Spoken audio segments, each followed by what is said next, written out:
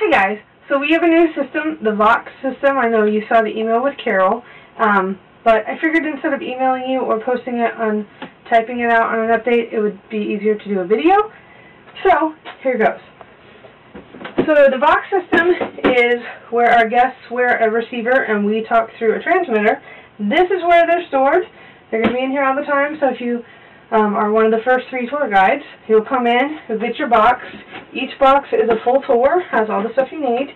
Um, very important on the top of the box, I tried to make this as simple and user-friendly as I could. The receivers are what the guests get. They look like this. There's 25 of them. They have a lanyard. The transmitter is what the guide will wear. See, it says guide. Um, they look like this, and it's what you will be wearing as the tour guide. So each box has it written on the side of the box and on the lid, so if they get separated, you know where they go back to. This is the only one that is channel 1, channel 1. The others are a little bit more confusing. This one says A2 and channel 4. What I mean by that, on the side of each thing, I'm to zoom in a little bit, there's a channel, an A, and a B. We have the capacity to do eight different um, tours at one time, there's channel A, 1 through 4, and then channel B, 1 through 4.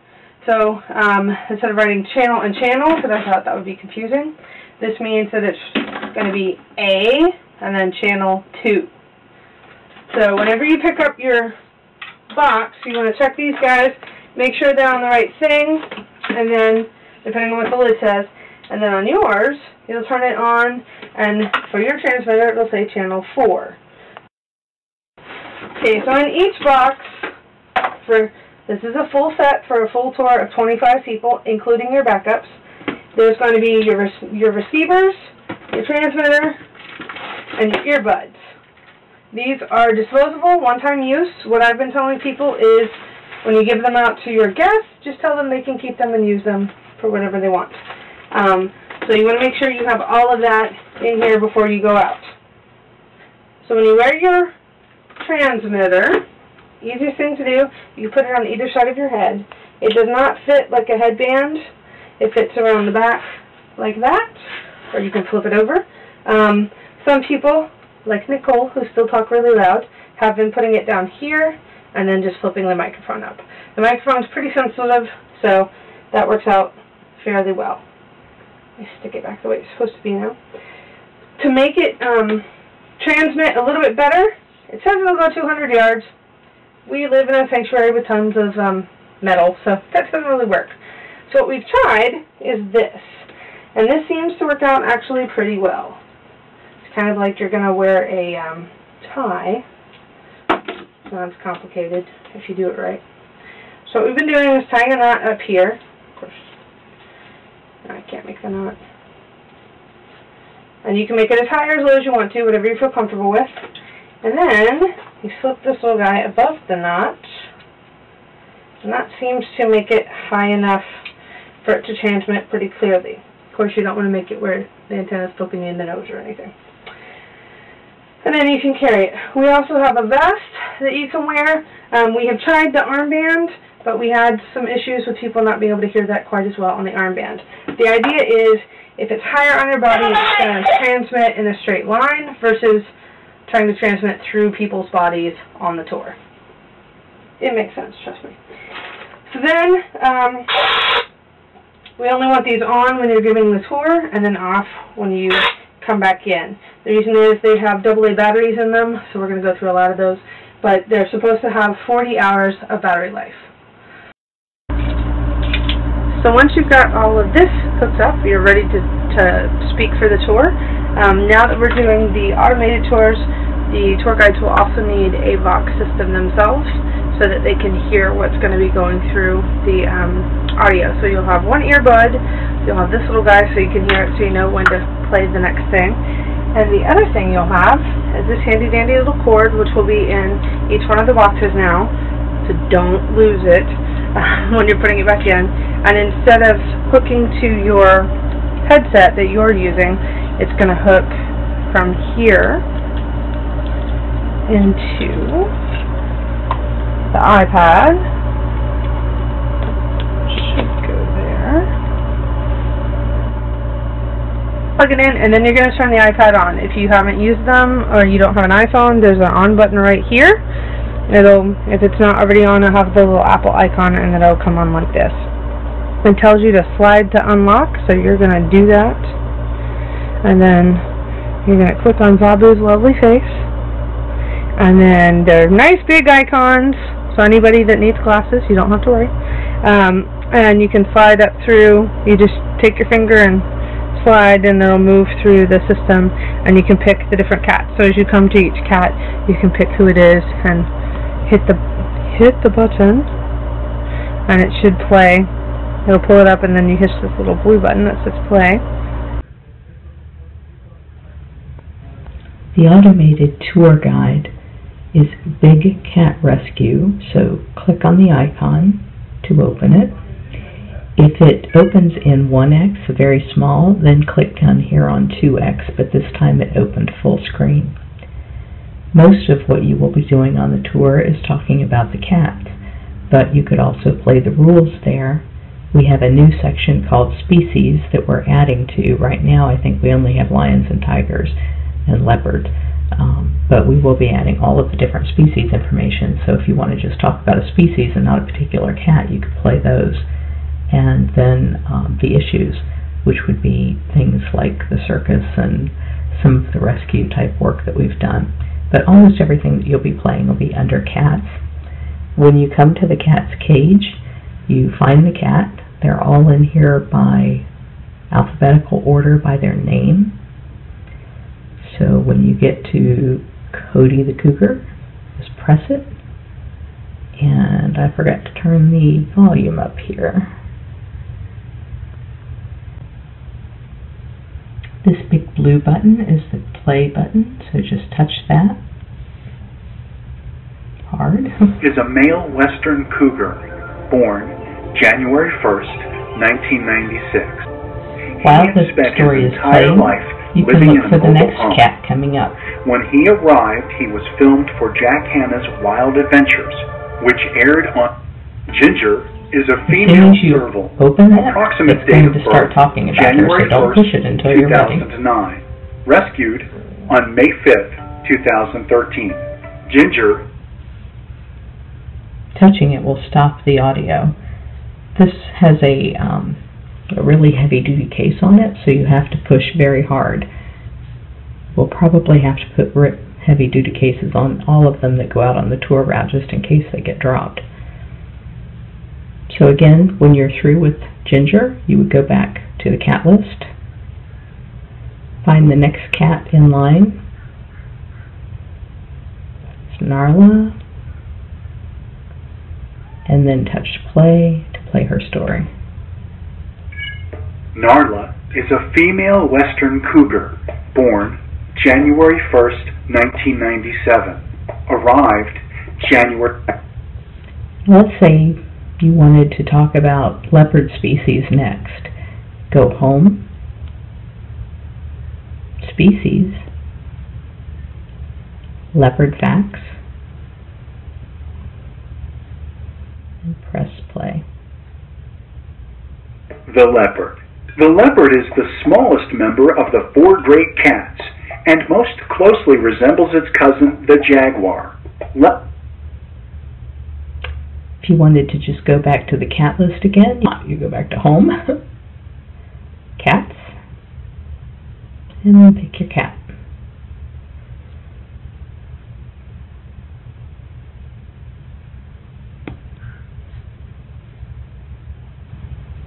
Moses a male southern bobcat.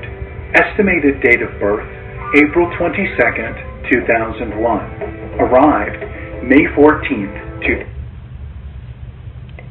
If the cat wanders off and it's no longer interesting for the people to stand there and listen to the cat, you can guide your tour away from that area while still playing the cat story and looking for your next story to play. That way there's not a lot of dead air time and they'll still be learning about the cat, but they won't be standing there staring at an empty cage. From a training perspective, there are other things that you can do with this. We have a cat map where you can see all of the cats on the map. This just gives you a map of where we are. tells you where Moses is. He's 328 feet away from where I am now. There is a little segment in here about Big Cat Rescue.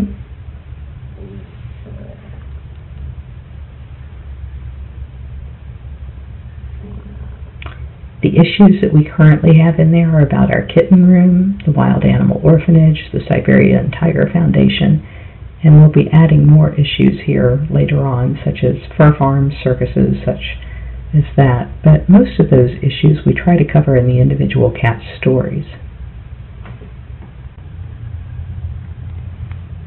It was our intention to use this as a training guide also for learning where the cats are, and we're trying to keep it updated. If you were to go to Bongo, the serval, click on Bongo, when you're in his information page here, and click Cat Map, it will show you that Bongo lives right there.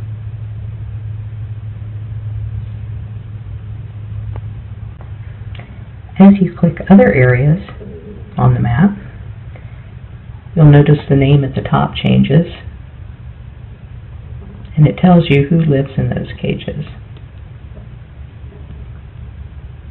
This is not going to be very accurate with the tigers and the lions since they get moved through the vacation rotation enclosure, but most of the other cats will be where they're supposed to be on the chart.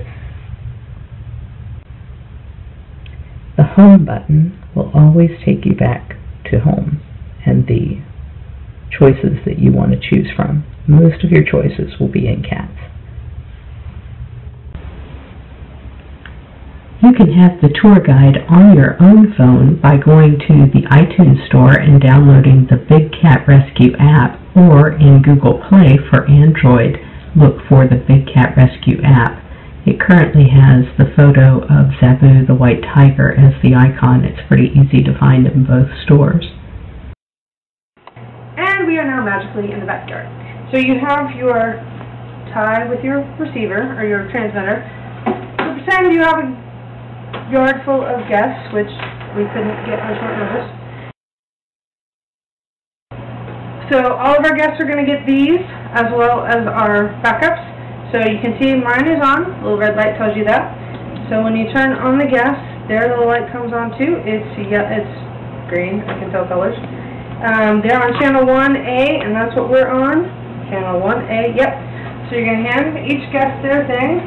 Their earbuds come in a little baggie. That way they know they're nice and fresh and haven't been in anybody else's ears. You.